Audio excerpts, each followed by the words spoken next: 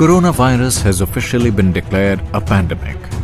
As the world rushes to contain the virus, there are some simple steps you can take to reduce yours and your family's risk of infection. It turns out, a common Indian cultural practice can be a powerful protection against infection. A study published a few days ago in the renowned New England Journal of Medicine looked at how long coronavirus can survive outside the human body and infect surfaces in our homes, offices and elsewhere. It found that virus could survive up to 3 days on stainless steel and plastic and up to 1 day on cardboard.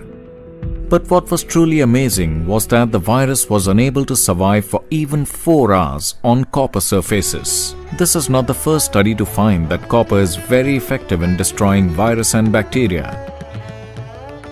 A clinical trial in hospitals in the United States found that using copper surfaces in intensive care units kills 97% of bacteria and reduces the risk of infection by 40%.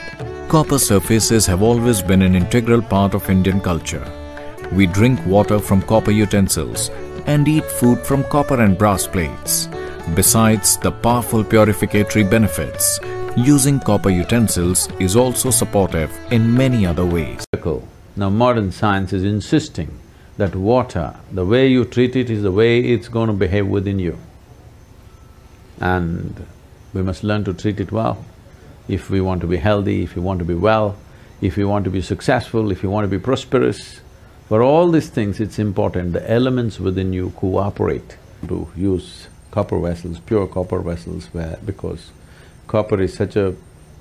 you know, it's… it's the best conducting metal and it energizes the water. Energizing, if you check the mole… I mean, if you check the chemical uh, composition, it'll not change. That is the beauty of it. It's only the molecular uh, structure of the water that will change.